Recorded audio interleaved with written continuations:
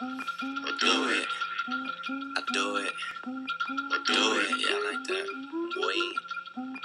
Boy. Nah, nah, nigga. Nigga, fuck your time, nigga. I do it. I waited my whole life to be the man of the hour. I really can't lie. I was the man when I started. I'll be the man when I die. Man, these hoes take your money, and I take their virginity. I'm high. I split a O in half, and now it's up for parentheses. Crazy, ape shit, retardedly stupid. I put that weed in the earth and pass it. Yep, that's alley you been. Okay, now oh, that's your girl.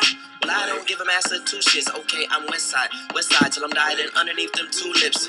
You Bordeaux like Enrique. I'm two pay, I'm three pay. I'm looking like I'm a. What's up, y'all? Back for another sneaker review. Uh, today I got a unreleased pair that don't drop till this Saturday, May fourteenth. Uh, the Wolf Grey Five. Got it kind of early, so it's kind of exclusive. Not too exclusive, but uh, they're gonna retail for one fifty. General release. Uh, so don't trip about the store not having your size because they should have them. But this is a shoe. Uh, wasn't too pleased about it at first because uh, I think it was the right shoe. Uh, it was kind of creased already at the toe, and the fives are known for creasing a lot. Uh, I don't know why. Probably just because of the make of the shoe but depends on how you have it tied to. Uh, it's got a nubuck like feel to it. It's not really suede. Uh, suede gets dirty compared to nubuck, and when it like when you step on the shoe on with suede shoes, leaves like a line or a mark on there. So it's kind of like it gets scuffed, just like if it was like white leather, and you know it got like a black scuff on there. Uh, the thing I like the most is probably the clear uh, bottom, similar, actually the same to the uh, cool grays that release uh, during Christmas. What I do not like is the white inside. The whole theme of the shoe is wolf gray. I felt like they should have put like a light gray inside to keep the theme going of the wolf gray or whatever. But I mean, it's still fresh. You know, they got the gray Air Jordan on the inside, uh, and it is all white on the inside. trying to get an angle so you can see. Got the clear, clear vents on the side, and you know the lace lock is clear also. Uh, It's a nice shoe.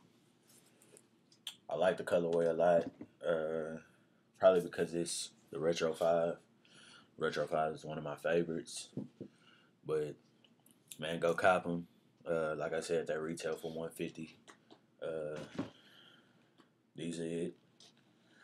Dropped this Saturday.